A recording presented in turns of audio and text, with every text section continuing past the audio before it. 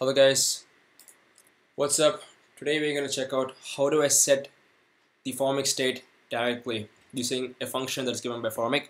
So this is really simple and this function is right there in the docs. For some reason I missed it and I spent a lot of time trying to figure this out.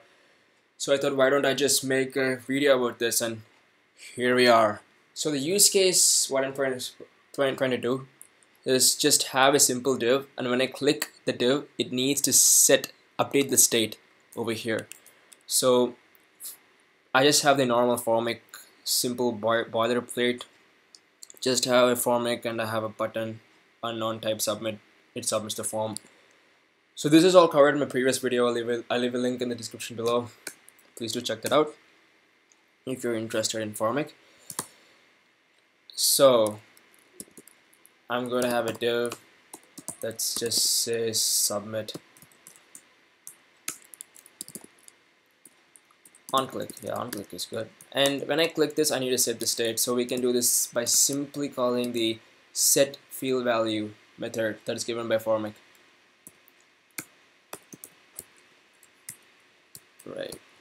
So now we call the method called set field value. And the first parameter is the name of the value that you need to set and the value that you need to update it but I'm just going to call this hello world.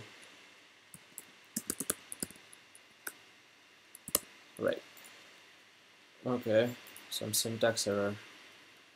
I wonder what is it. Oh yeah, it's over here. Yeah.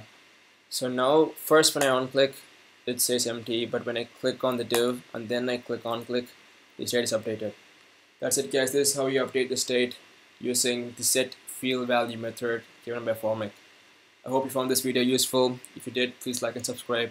Thanks for watching.